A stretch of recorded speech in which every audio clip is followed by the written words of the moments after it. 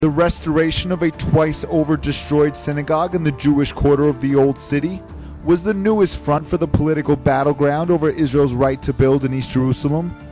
Despite the Hurva synagogue being located in the middle of the Old City's Jewish neighborhood and seemingly unrelated to political dispute, Palestinian leaders cited the restoration as a provocation, and Knesset Speaker Reuven Rivlin and other Israeli leaders used the restoration ceremony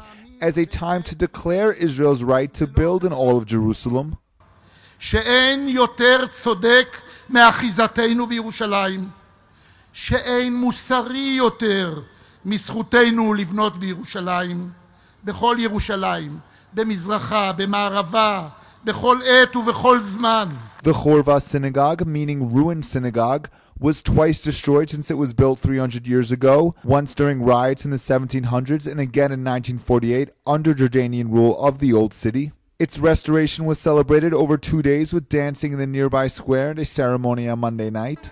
Prime Minister Netanyahu gave his blessing over a video played on a wall of the synagogue. His message lacked the political fervor of some of the other speakers, perhaps to prevent the escalation of tensions between the Obama administration and his government. אני חושב שיש פה, בסיפור של בית הכנסת, סיפורו של עם ישראל, בקשר העז שלנו לציון, לירושלים, באמונה שלנו, בפעולה המעשית שאנחנו עושים כדי לשוב לארצנו ולבנות בחזרה את מדינתנו ובירתנו. Benjamin Spear reporting for the Jerusalem Post, J Post TV.